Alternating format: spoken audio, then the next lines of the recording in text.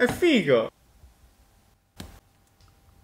È tipo tra i miei cioccolati preferiti, tipo Oreo, adoro, è veramente figo.